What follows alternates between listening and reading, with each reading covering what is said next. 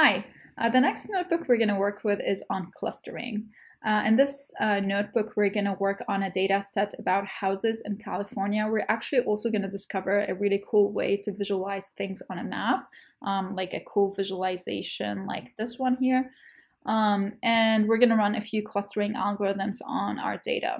Uh, so one quick note before we keep going with this uh, notebook, I'm actually going to avoid executing uh, cells like this where I am plotting them on uh, the map. Uh, this is actually using the Vega Lite package to generate these really cool plots. Um, but the reason I'm doing so is because, like, first of all, we're actually uh, plotting a lot of information. That's about 20,000 houses that we're plotting. So these dots. And um, this is going to take about a minute or two, I think, on average for these uh, plots to finish generating. So I'm trying to just save a little bit of time here, not to keep you waiting. So I might just go through them and show you the figure instead of executing the figure on the spot. All right, so now we're gonna do, we're gonna actually, um, let's let's go ahead and get the package that packages that we're gonna work with, and then get the data set that we're gonna work with. Um, you you've seen these before in the uh, data notebook, or how to read and download uh, data. Uh, and then the next thing I wanted to give you an idea about is what the column names are going to be. Uh, so these are the information we have about these houses. Uh, so the latitude and the longitude is essentially what we're going to use for our clustering uh, methods. So the first thing I'm going to do here is to run this cell here, which I'm not actually, sorry, I'm not going to run, just to show you the result of that cell. Uh, what's happening here is that we're loading the JSON file of a California shape.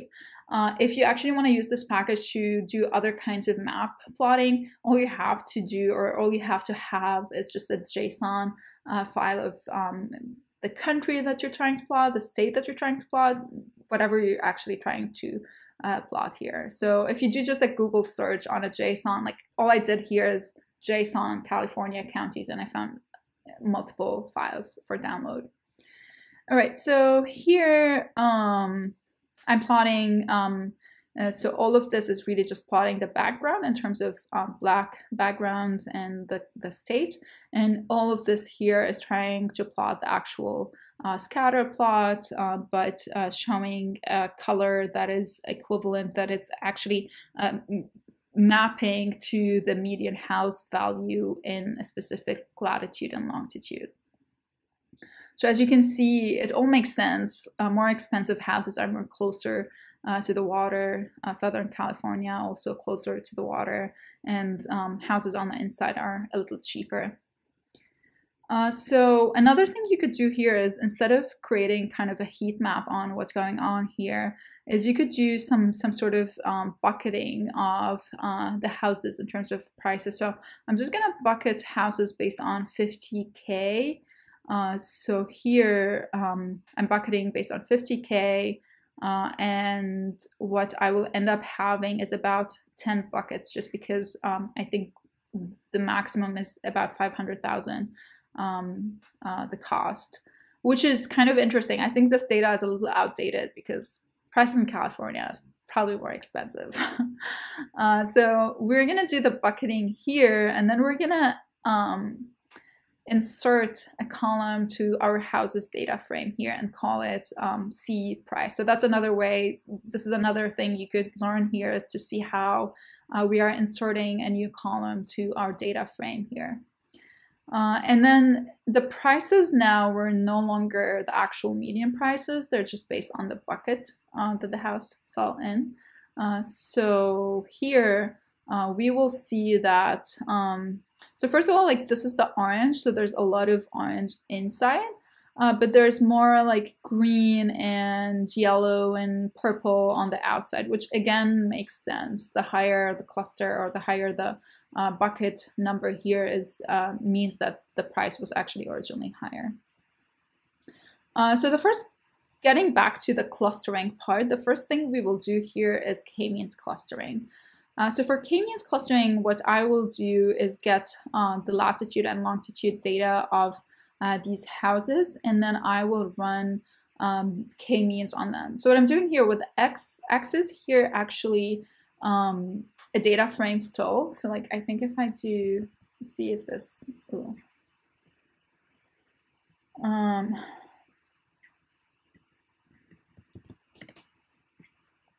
yeah, so X is a data frame here. And to be able to pass it to k-means, I just wanted to make it a matrix. And another thing that k-means expects is very similar to something we've seen in PCA in the previous notebook, where we wanted uh, things to be, um, every instance to be a column. So actually, if I copy this just to show you what this is going to look like, um,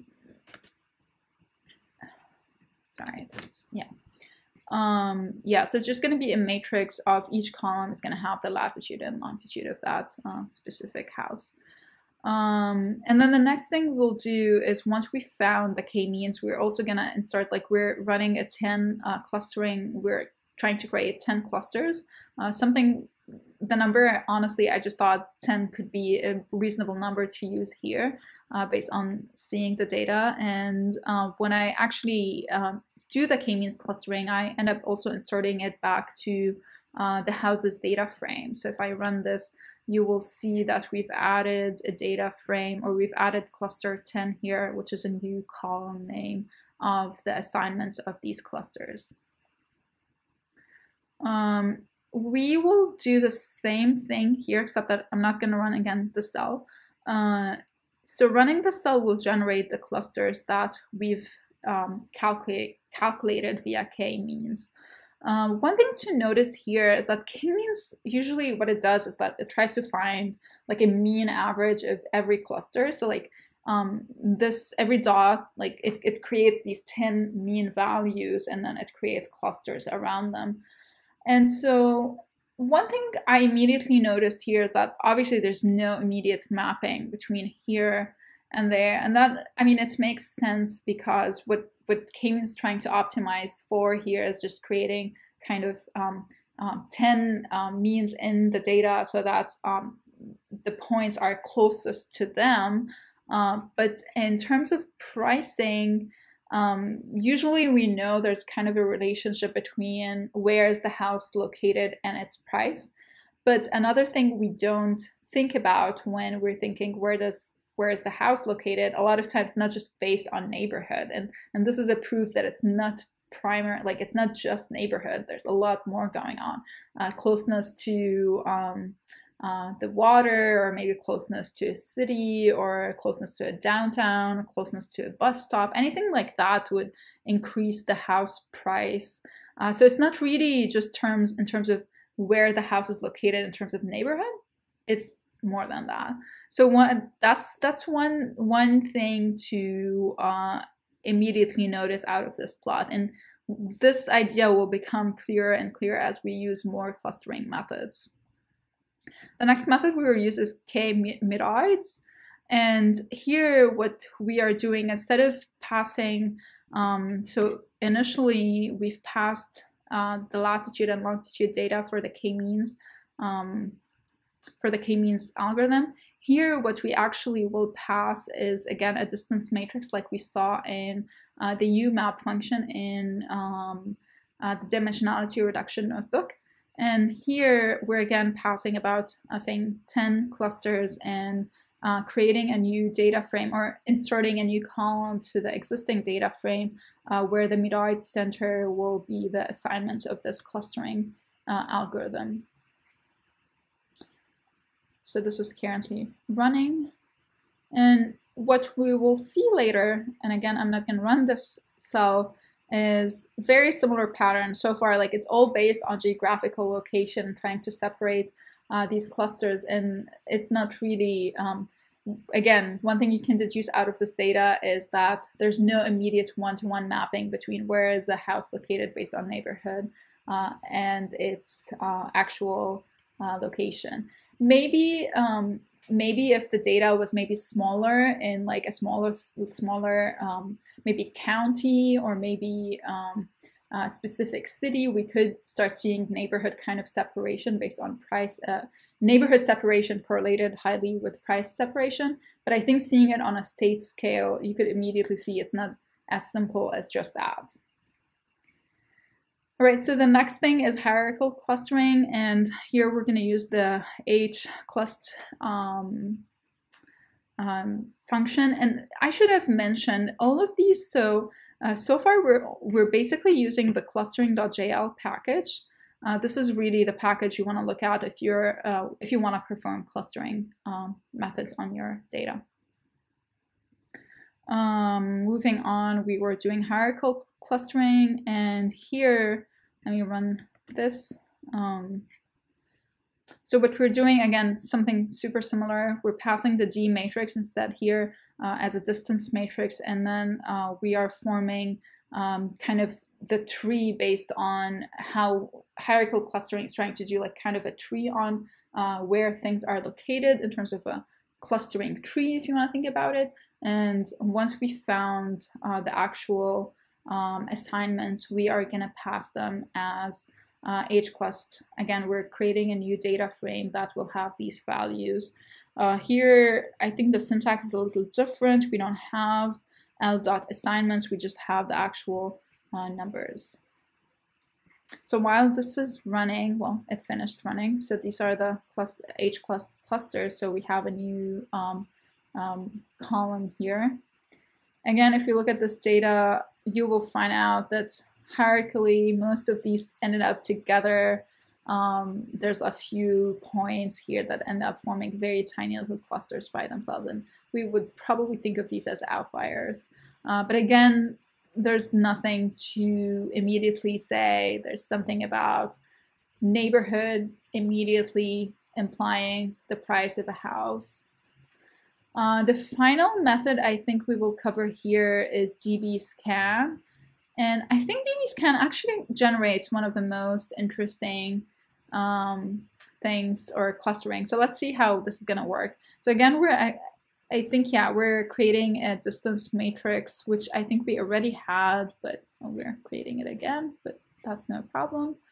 Um, let's see.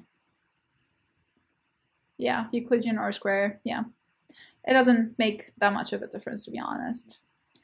Um, okay, so db scan, um, we pass just um, the matrix in terms of distances. Um, the 0.05 and 10 here are really, so, okay, so if you've worked with dbscan before, uh, you know there's, first of all, you're trying to pass, um, you're trying to find kind of points that are um, like within a certain neighborhood or like within a certain distance, you would think that these nodes are in the same cluster. So that's kind of a threshold of how far um, a node could be from another node and still kind of uh, be in the same cluster. And then I think 10 is the number of, yeah, the query radius. So uh, 10 is essentially for every point you're looking at like what are the 10 points around it that are uh, closest to it. So these are the points, um, these are the two parameters you want to look at. And again, all of these parameters depend on like what kind of data or what kind of problem you're trying to solve. Uh, but one thing you want to notice here is that we're not actually passing a number of clusters. You can't like you can't do it here. Uh, so um, you could just come up with reasonable numbers for these thresholds and the number of uh, points to query. Um, okay, so the unique clusters here actually were 15. And if we end up inserting these numbers here, so we will have a new um, column called db scan clusters three, I think. I don't know why three, but um, oh, because I had, I think I was playing around with this data before and um, I have already had two other kinds of parameters. Uh, but yeah, you can just decide on the column name here and insert it to your data frame. And so looking at the clustering of this algorithm is actually pretty interesting. Kind of got Southern California all together and uh, kind of got this area together with this area here. Uh, so I would say like that's pretty interesting in terms of like this method is looking at the radi radii of like the radius between a point and like the neighboring points around it. And I would think that this was one of the most interesting clusterings on this data uh, so far. But again, it's not immediately mapping. It's probably like closest in terms of mapping back to this original data set here. Uh, but again, there's like always this super like more expensive um, houses on um, closer to the water. So Uh, this is going to be really hard for any clustering algorithm to, to, immediately detect, oh, like these things on the water are uh, together. Uh, so I guess one conclusion I would take out of this notebook is that uh, doing a clustering on geographical locations is not necessarily um, is not necessarily uh, mapping immediately to the prices of these houses. So prices of houses is not just about neighborhood; it could be about many other factors. Uh, so that's probably the most interesting thing to take out of this notebook. And I hope that by now, after finishing this notebook, you can run all of these clustering algorithms on your data and find out clusters in your data that are close to each other, whether it's geom geometrically or whether uh, you're trying to do other kinds of uh, clustering on your data. And we'll meet again in the next notebook that's going to be about classification.